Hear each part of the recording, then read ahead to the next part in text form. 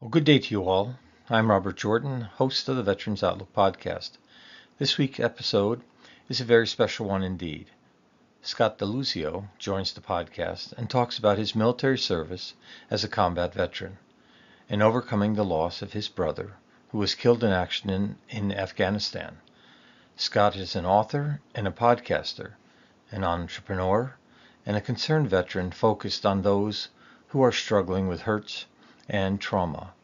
This episode of the Veterans Outlook podcast will be released on Friday, January 5th.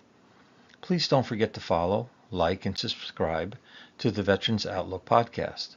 And I hope you'll listen to this engaging episode featuring Scott DeLuzio. Thank you, and God bless you.